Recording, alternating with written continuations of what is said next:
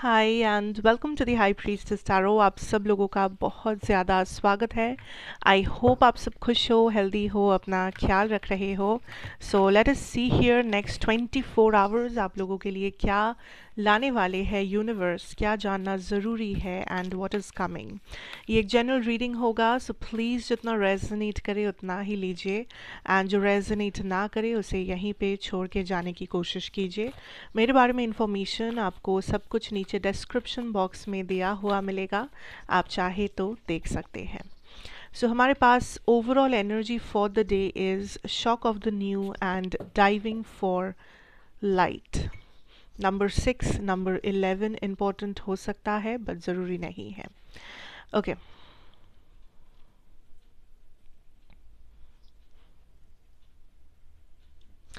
the first thing that I am feeling here next twenty four hours में is आप kind of थोड़ा सा withdraw कर रहे हो अपने सुपरफिशियल चीज़ों से लाइक like जिन चीज़ों को, जिन लोगों को, जिन रिश्तों को आप सुपरफिशियल मानते हो लाइक आपको लगता है कि ये आप नहीं हो ये आपका हिस्सा नहीं है। यू you नो know, हम लोग सारे हम लोग uh, कभी कभी लाइफ में कुछ ऐसे लोगों से मिलते हैं या ऐसा कोई एनवायरनमेंट में अपने आप को डालते हैं, जो हमें भी पता होता है कि ये हम लोगों के लिए नहीं है। ये जगह, ये लोग, ये बातें या फिर ये लाइफस्टाइल पर फिर भी हम लोगों को वो करना पड़ता है कभी कभी maybe for society maybe किसी और को खुश करने के लिए मे बी अपने जॉब के लिए मे बी अपने जस्ट यू नो फ्रेंड्स के लिए, किसी और के वास्ते। सो देर इज़ समथिंग जो आप एंड मैं नहीं कह रही हूँ कि ये बुरी चीज़ें हैं या ये बुरा है या गलत है maybe just an example आप समझे कि आपको ज़्यादा शोर शराबा पसंद नहीं है। आप एक बहुत ही क्वाइट किस्म के इंसान हैं जिसे अकेला बैठ के काम करना पसंद है जिसे अकेला बैठ के कुछ क्रिएटिव करना पसंद है मे बी बुक्स पढ़ना मे बी अपना काम करना मे बी कुछ भी क्रिएटिव काम करना। पर आप कभी कभी ऐसा आपको अपने फैमिली के वजह से या अपने फ्रेंड्स के वजह से आम, कहीं पे जाना पड़ता है किसी के घर या किसी पार्टी में किसी ओकेशन में जहाँ पे बहुत सारे लोग हैं बहुत सारा शोर शराबा है एंड ये लोग आपके मे बी अपने भी नहीं हैं। ठीक है इन लोगों से आपको कोई लाइक रिश्ता नहीं है या कोई बॉन्ड नहीं है बट फिर भी आपको जाना पड़ता है मे बी अपने फैमिली को खुश करने के लिए, अपने फ्रेंड्स को खुश करने के लिए, या फिर जस्ट बिकॉज़ लोग क्या कहेंगे या आउट ऑफ़ कर्टसी ठीक है out of courtesy out of values traditions आप करते हो। ठीक है? मे बी हर दिन नहीं पर कभी कभार वैसे ही मान लीजिए कि आपको देर रात तक जागना पसंद नहीं है उससे आपको प्रॉब्लम होता है। पर कभी कभी आपको काम के प्रेशर की वजह से स्टडीज़ की वजह से देर रात तक जागना पड़ता है। सो so, कुछ ना कुछ ऐसा आप करते हो जो कभी कभी आप खुद को भी पता है कि वो आपके लिए लाइक like, वो आप खुश नहीं होते हो उस चीज़ को करके या आपको सेटिस्फैक्शन नहीं मिलता है आप कनेक्टेड फील नहीं करते उस चीज़ से पर आपको करना पड़ता है। जैसे कि um, कुछ लोग ऐसा बोलते हैं कि उसे अपने रिश्तेदारों से बात करना पसंद नहीं है पर फिर भी कभी कभी करना पड़ता है क्योंकि पेरेंट्स फोर्स करते हैं। तो आप वैसे भी समझ सकते हो that sometimes that happens so anyways let's not talk about that यहाँ पे what is happening in the next twenty four hours is कि आप अपने आप से कनेक्ट कर रहे हो। अब अपने आप से कनेक्ट कर रहे हो मतलब इट कैन बी कि आप नेचर में स्पेंड कर रहे हो टाइम अकेले टाइम स्पेंड कर रहे हो या आप ऐसा कुछ कर रहे हो जो करके आपको लग रहा है कि हाँ ये मैं हूँ। ये करके मुझे अंदर से सुकून मिलता है यू you नो know, ये करके मेरे सोल को सेटिस्फैक्शन मिलता है। माई सोल इज़ हैप्पी मेरा बॉडी नहीं, मेरा सोल खुश है, मेरा सोल सेटिस्फाइड है।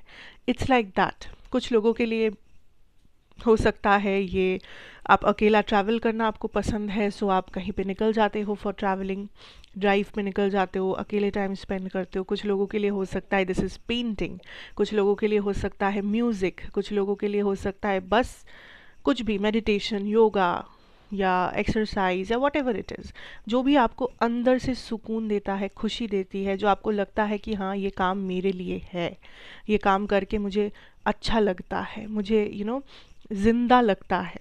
सो so, ये वो चीज़ है जो आज आप सबसे ज़्यादा करने वाले हैं। कुछ भी ये आपका इनर कॉलिंग है ये आपका लाइफ पर्पस भी हो सकता है। You never know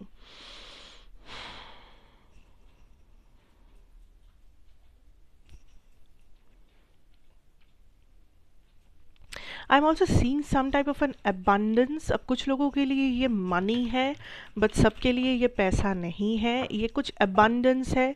may be आप बहुत बिज़ी इंसान हैं एंड बहुत समय के बाद आपको टाइम मिला है कुछ करने के लिए सो टाइम आपके लिए एक अबांडेंस बन गया है। hmm, ये पैसा भी हो सकता है कि आप बहुत ज़्यादा फाइनेंशियली थोड़ा सा स्ट्रगल में थे एंड सडनली आप आपको कोई अच्छा क्लाइंट मिल रहा है आपके बिज़नेस में आपको कोई अच्छा कमीशन मिल रहा है आपको बोनस मिल रहा है वॉट एवर इट इज़ या प्रमोशन का न्यूज़ आने वाला है या कहीं ना कहीं आप एक जॉब अपने लिए ढूंढ पा रहे हो समथिंग जो आपके फाइनेंशियल सिचुएशन को बेटर बनाए। सो so, कहीं ना कहीं एक अबांडेंस आपको मिल रहा है। कुछ लोगों के लिए ये लव भी हो सकता है। कि आप बहुत अकेला महसूस कर रहे थे आपको लग रहा था कि यू you नो know, मुझे एक सोल कनेक्शन चाहिए मुझे किसी से हार्ट टू हार्ट कॉन्वर्सेशन करना है।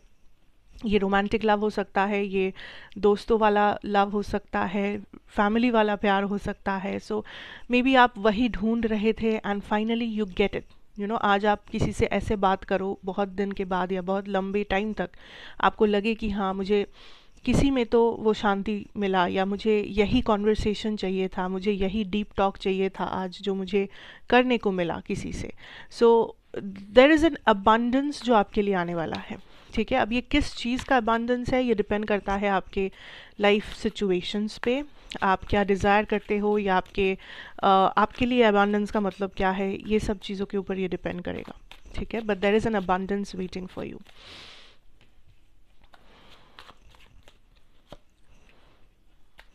there is a person आपके आसपास uh, जो kind kind of of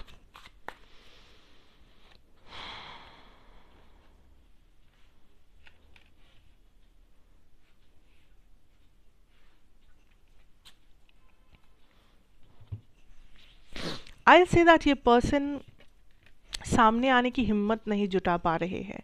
uh, ये एक ऐसे इंसान है जिन्होंने आपके एक्सपेक्टेशन को ब्रेक किया है या आपको कुछ भी ऐसा बात सुनाया है जो आपको पसंद नहीं आया है किसी वजह से।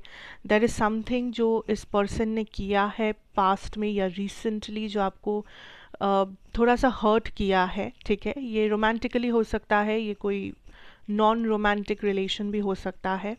ये पर्सन को पता है कि इन्होंने क्या किया है ये गिल्टी फील करते हैं बट इनके अंदर वो कॉन्फिडेंस नहीं है कि सामने आके बात करे या अपनी गलती मान ले।